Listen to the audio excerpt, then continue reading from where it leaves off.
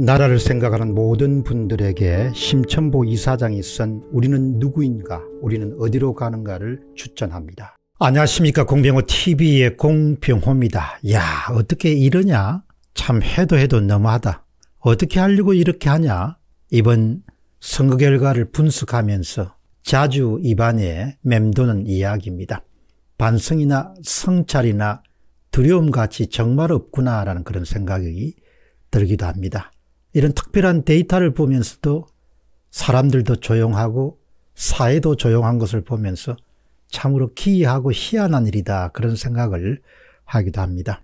오늘 사회로 총선이 실시된 이후 1년 만에 100건이 넘는 선거 무효 소송 가운데서 1차로 민경욱 의원의 선거 소송에 관한 부분이 아마 오늘 첫 번째 본 변론이 진행이 됩니다. 1년 만에 6개월 안에 모두 다 마쳐야 되는 것이 선거소송입니다. 단심제고 대부분이 담당합니다.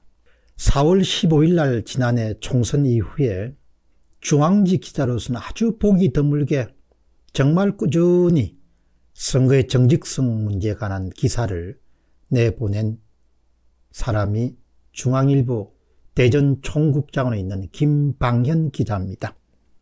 4월 15일자 중앙일보에 실린 김방현 대전 총국장의 칼럼 진보도시 세종의 흔들리는 민심은 바로 바닥 민심을 잘 담아낸 그런 칼럼입니다. 김방현 대전 총국장 글은 이렇게 시작됩니다. 행정수도 세종은 진보도시로 불린다. 2012년 출범 이후에 이른바 진보승량 후보가 대거 당선된다. 현재 세종시장은 민주당, 교육감은 전교조, 국회의원 2명은 민주당, 선출된 세종시 의원 16명은 저는 민주당이다. 왜 이런지는 세종시 인구 구성을 보면 알 수 있다. 지난 3월 말 현재 세종시민 평균 나이는 37.4세로 17개 광역단체에서 가장 젊다. 20대와 30대 비율도 27%로 전국 최고 수준이다. 이러다 보니 세종은 보수 진영의 볼모지다. 이러다 보니 세종은 보수 진영의 풀모지다.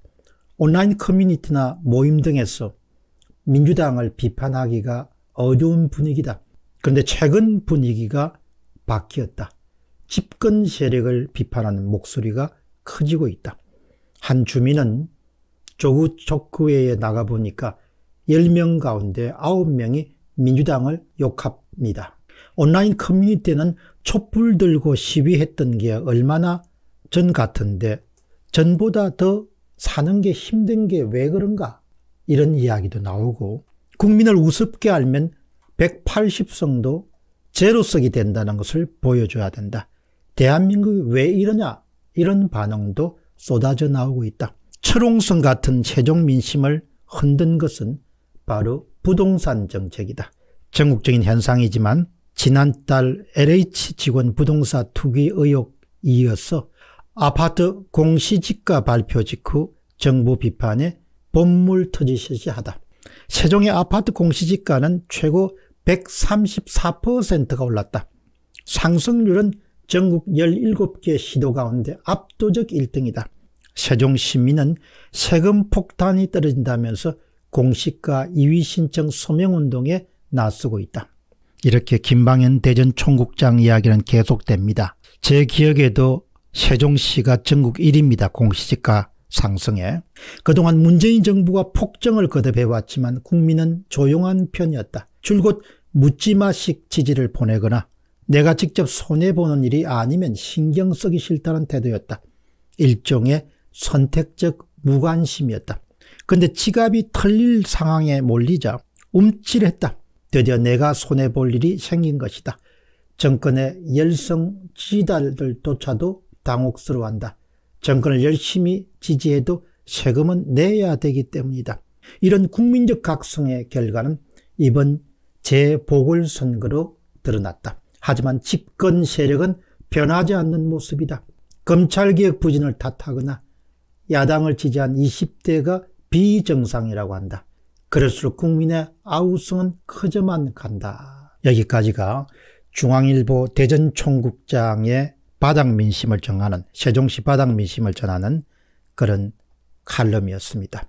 4월 15일자 조선일보에는 오세훈 서울시장이 조선일보 daily 팟캐스트 모닝 라이브에 출연해서 한 이야기가 잘 정리되어 있습니다. 오세훈 시장 주장입니다.